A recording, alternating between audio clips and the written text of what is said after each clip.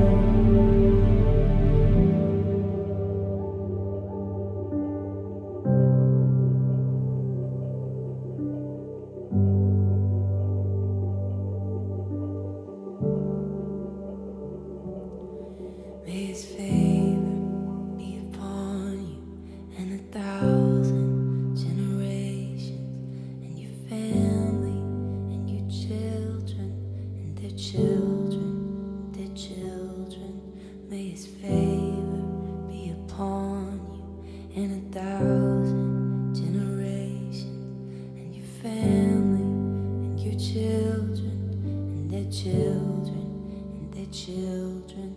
May His presence go before.